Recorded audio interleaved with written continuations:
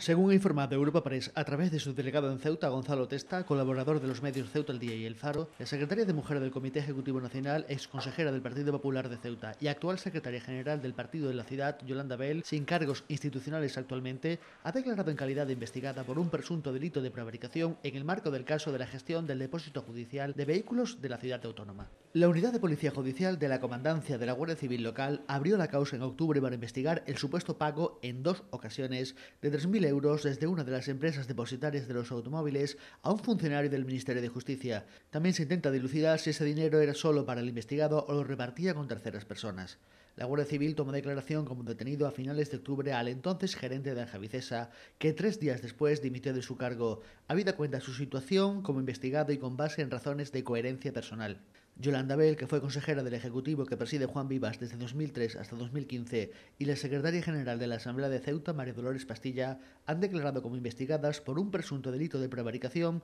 al haber firmado la primera como presidenta del Consejo de Administración de Angevicesa y actuado como fedataria la segunda de un decreto para posibilitar la salida de la ciudad autónoma de cientos de automóviles intervenidos. En 2015, la Administración de Justicia detectó presuntas irregularidades en la gestión del depósito al constatar que en Ceuta se presentaban sistemáticamente facturas por distintos depositarios para su pago hubieran sido no intervenidos judicialmente los vehículos a que hacían referencia. En una instrucción alertó de que la mayoría de los vehículos que estaban depositados no estaban intervenidos judicialmente y paralelamente, en muchos casos, los depositarios presentaban de forma extemporánea sus facturas, con lo que la actitud de unos y otros generaba unos costes de depósito inasumibles para cualquier gestor público que actuase con un mínimo de responsabilidad por la gestión.